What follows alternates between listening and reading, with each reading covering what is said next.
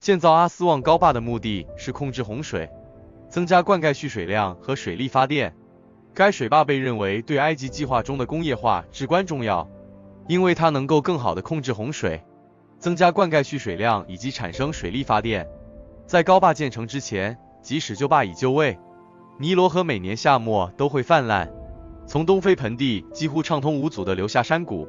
阿斯旺大坝的建设对埃及的经济和文化产生了重大影响。在高坝建成之前，即使旧坝已就位，尼罗河每年夏末都会泛滥，从东非盆地几乎畅通无阻地流下山谷。这些洪水带来了富含天然营养物质和矿物质的高水位，每年丰富了红泛区和三角洲沿岸的肥沃土壤。这种可预测性使尼罗河谷自古以来就是理想的农业之地。阿斯旺高坝的建设对埃及的农业产生了重大影响。在大坝修建之前，尼罗河每年夏末都会泛滥，从东非盆地几乎畅通无阻地流下山谷。这些洪水带来了富含天然营养物质和矿物质的高水位，每年丰富了红泛区和三角洲沿岸的肥沃土壤。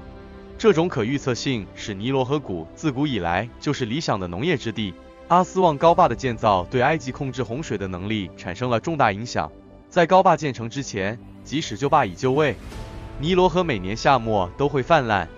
从东非盆地几乎畅通无阻地流下山谷，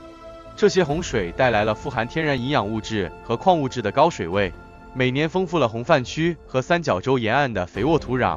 这种可预测性使尼罗河谷自古以来就是理想的农业之地。位于莫斯科的水力发电计划研究所在阿斯旺高坝建设中的作用是设计和监督大坝的建造。该研究所于1946年由苏联成立。